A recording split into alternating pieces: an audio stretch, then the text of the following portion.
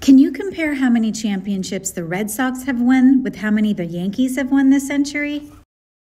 The New York Yankees have won only one World Series championship this century, in 2009. The Boston Red Sox have won four championships this century, winning titles in 2004, 2007, 2013, and most recently in 2018.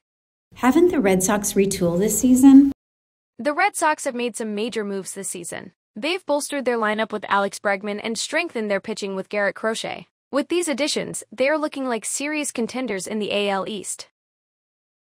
Doesn't Bregman really mash at Fenway? Alex Bregman has consistently played well at Fenway throughout his career. He's a career .375 hitter there with an extraordinary 1.240 OPS. When will the Red Sox and Yankees face off first this season?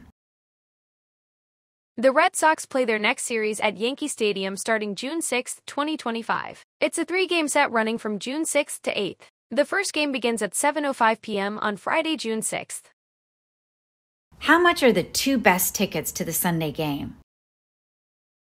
The two best tickets for the June 8th game are in section 199, row 10. They're priced at $386.25 each, totaling $772.50 for the pair.